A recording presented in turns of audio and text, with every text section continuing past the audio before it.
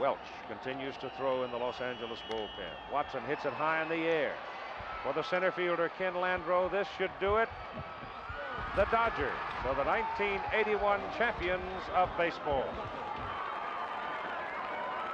And so there is not the usual noise making. It became apparent midway in the game, almost with the departure of Tommy John, that the Dodgers would take command. Now the Dodgers leave the field.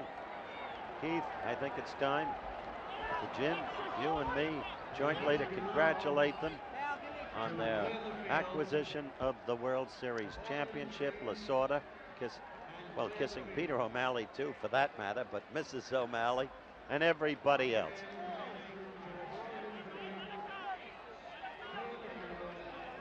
For the first time in history, we have a three-way tie for the MVP. Guerrero, Cey, and Steve Yeager.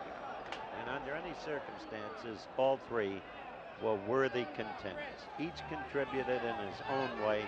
Sentimentally, maybe Ron Cey the most.